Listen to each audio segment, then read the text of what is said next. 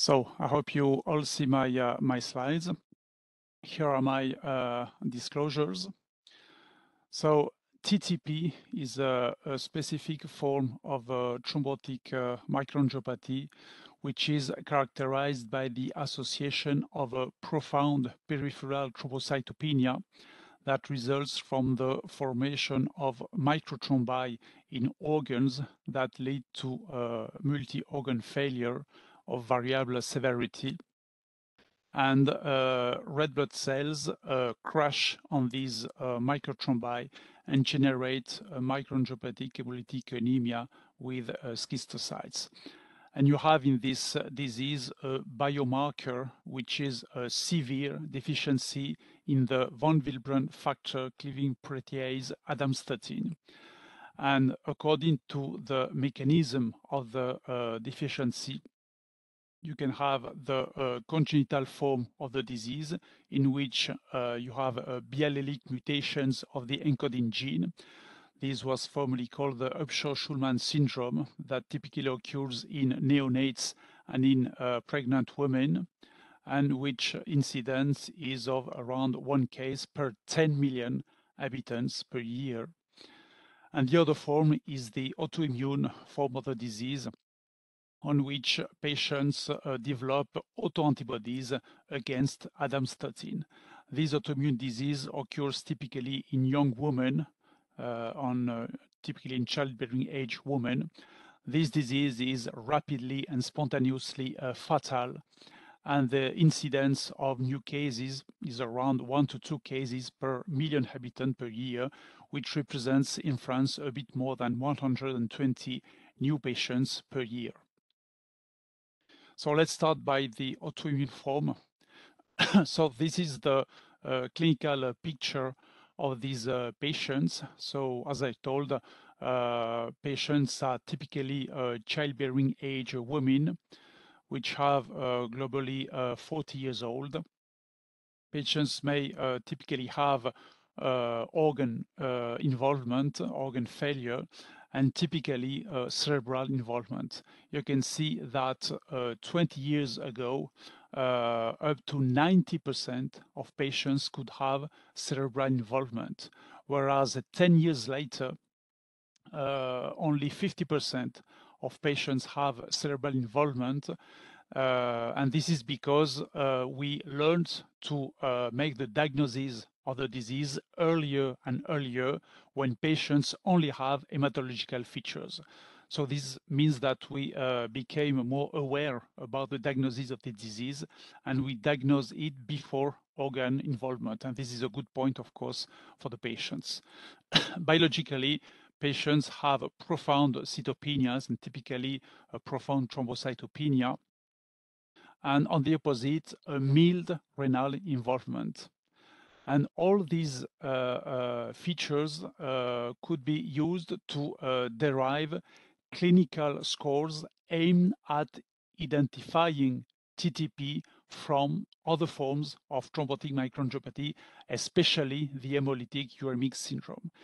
this is a crucial aspect because, as you know, uh, the diagnosis of TTP is made on the basis of ADAMTS13 activity, but there's some turnaround time to have uh, ADAMTS13 uh, activity, activity available, which is typically around three to five days around the world at the best. Uh, and this is in contrast with the fact that we need to make the diagnosis of the disease immediately to start in emergency targeted therapies in this disease.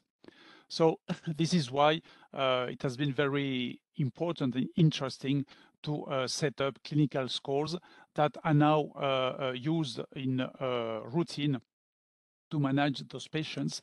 And these scores are, uh, the user is supported by the last ISTH guidelines for the diagnosis of TTP published two years ago.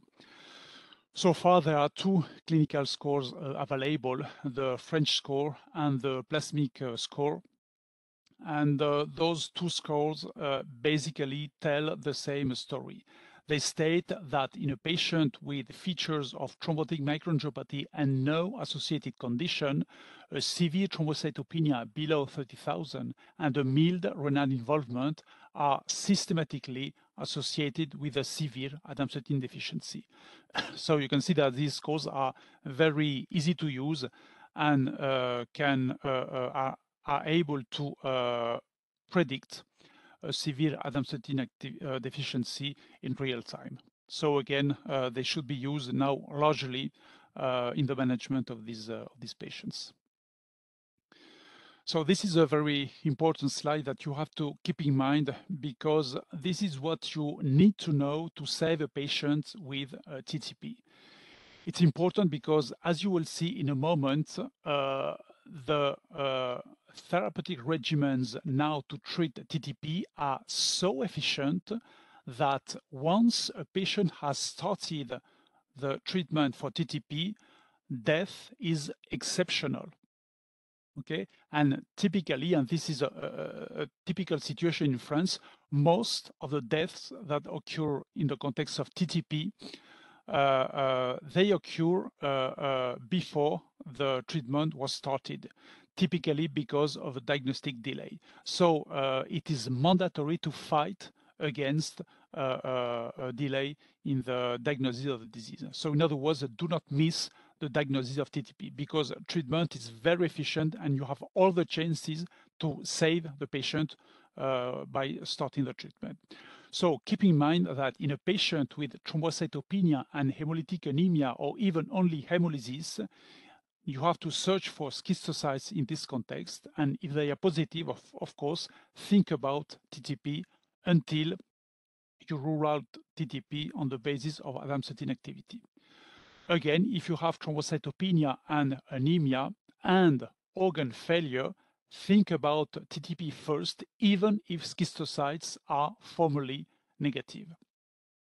Okay, so once you uh, uh, made the diagnosis of TTP, you did the most difficult uh, aspect of the management. The second point is that you have to refer the patient to or contact a trained team for uh, the management of the disease. So this is the uh, pathophysiological basis of uh, TTP uh, treatment. So in these patients, uh, uh, you have antibodies that inhibit the uh, enzyme activity and thereby the substrate of the enzyme, the high molecular weight von Willebrand factor multimers, accumulate upstream. They are hyperadhesive against platelets and they induce microthrombi in most organs. So in those patients, you have to uh, uh, uh, replenish ADAMTS13 levels to saturate uh, the antibodies against ADAMTS13 and to cleave the large VWF multimers. And this can be achieved by bringing very large volumes of plasma to uh, uh, provide patients exogenous ADAMTS13. And this is made through plasma exchange. The second strategy is immunomodulation to block the formation of antibodies against the enzyme. and so far, the most popular uh, immunosuppressive regimen is the association of steroids and rituximab. And lastly, uh, the third strategy is to inhibit the interaction between VWF and platelets. And this could be achieved by uh, the development of a nanobody called caplacizumab.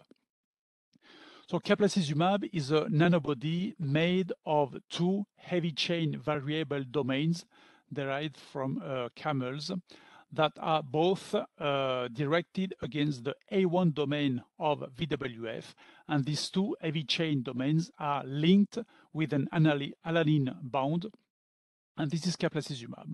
So this dimer is able to recognize the A1 domain of uh, uh, VWF, uh, which prevents its binding with the GP1B on platelets. So caplacizumab, as you can see, can prevent the formation of new microthrombi.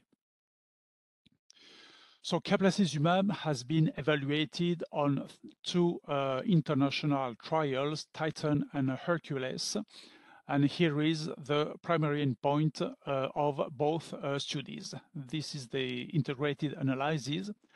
And you can see that uh, patients in the caplacizumab arms, this is the black uh, continuous curve, uh, those patients normalized platelet count faster than patients in the uh, placebo arms. And interestingly, you can see that the uh, caplacizumab was particularly efficient at the beginning of the management during the uh, two first weeks of the management. And this is interesting because this window of time corresponds to the uh, period during which rituximab is not efficient yet. Okay, this is important because, because during this two weeks period, rituximab is still not efficient and patients can worsen their condition and experience refractoriness, death, and exacerbations. So caplacizumab is actually able to protect patients until rituximab improves ADAMTS13 activity. So caplacizumab has to be seen definitely as a compound that uh, makes a bridge until rituximab is efficient. So these features translate, as you can see, in uh, less unfavorable outcomes at the acute phase of the disease. In the caplacizumab arms, you have no deaths reported in the trials, no refractoriness, and much less exacerbations under plasma exchange.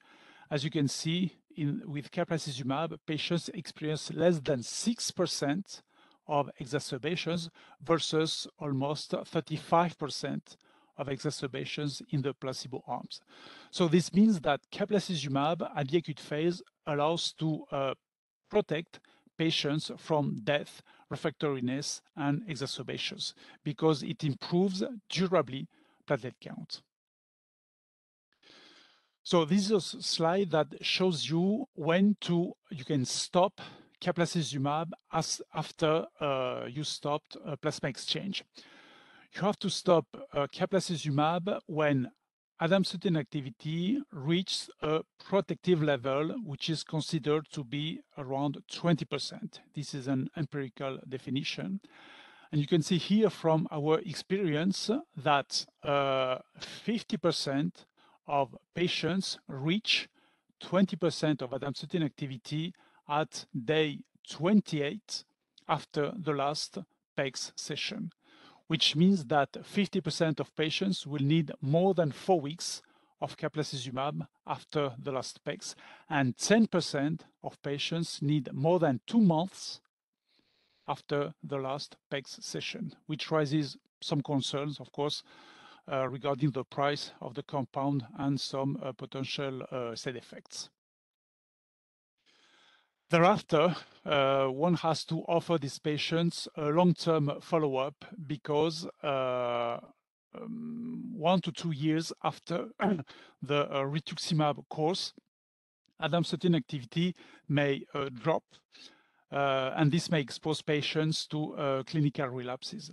So it is now a strong recommendation to uh, offer a regular follow-up of these patients to assess ADAMTS13 activity, typically once every three months, to uh, ensure that uh, ADAMTS13 activity remains within normal values. And if the enzyme activity drops during follow-up, one has to offer these patients a preemptive infusion of rituximab that allows to uh, uh, uh, normalize ADAMTS13 activity in virtually all cases, which protects patients from relapses. And you can see here from uh, historical patients that uh, if you leave patients without preemptive treatment and with a uh, severe ADAMTS13 deficiency, almost all patients in the end relapse from the disease. And we experience some deaths in this group. So definitely now patients have to uh, need a long-term follow-up and uh, they have to be treated with preemptive rituximab if uh, ADAMTS13 activity drops. So let's move now to uh, congenital uh, TTP. This disease was uh, formerly named uh, the Upshaw-Schulman syndrome from the name of the two clinicians that who described the, the disease. until uh, Gallia-Levy showed in 2001 that uh, actually these patients had biallelic mutations of the encoding gene. So now the disease is called uh, congenital uh, TTP. So besides the B-cytopenia, those patients also have uh, organ involvement. And given the uh, constitutive severe enzyme deficiency, these patients have a chronic organ involvement. And uh, this results on uh, several comorbidities uh, in these patients that are uh, prevalent. And from very recent uh, reports of uh, experience through many groups in the world, we now know that these patients typically have cardiovascular diseases such as hypertension, uh, myocardial infarction, uh, stroke, transient ischemic uh, attack. They have cerebral complications, including epileptic seizure, headache, and so on. They have chronic renal failure, including dialysis and sometimes renal transplantation. And this, of course, has a strong impact on quality of life and even on life expectancy.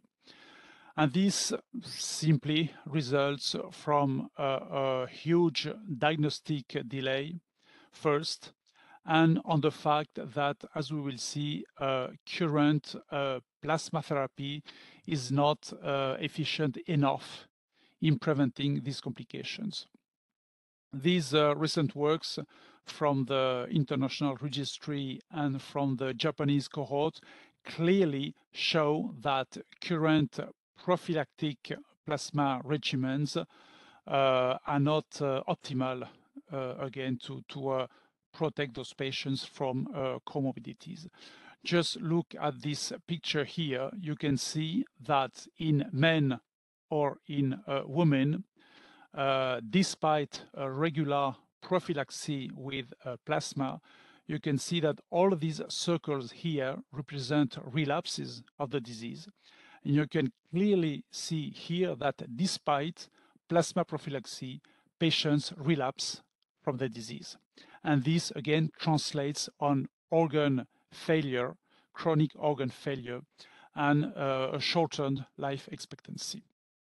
So we need new compounds to uh, treat uh, uh better these patients.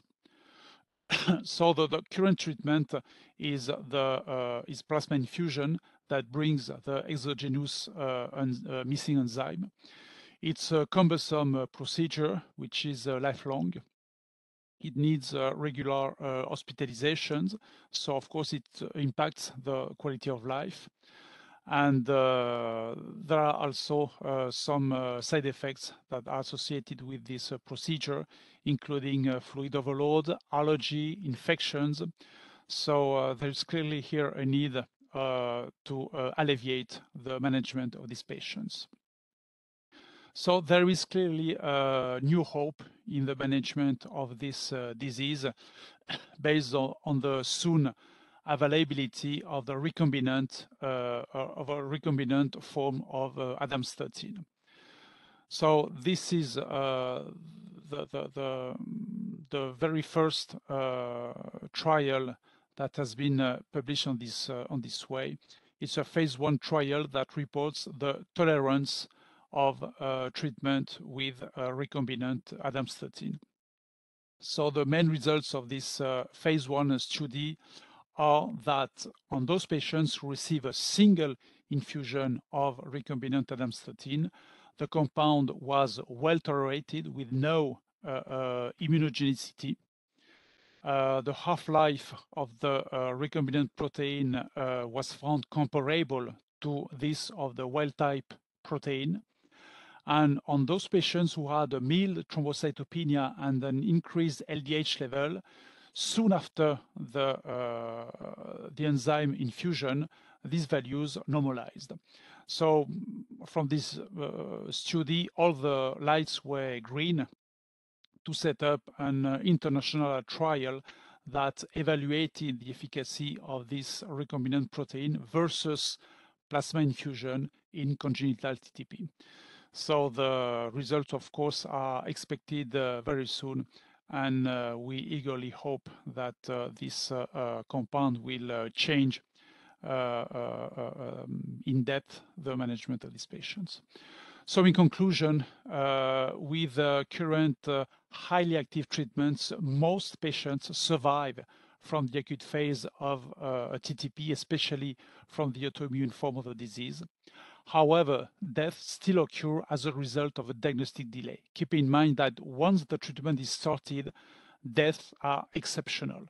Most deaths occur before the treatment could be started. So, to make clinicians more aware of TTP diagnosis is a major goal to improve the prognosis of the disease.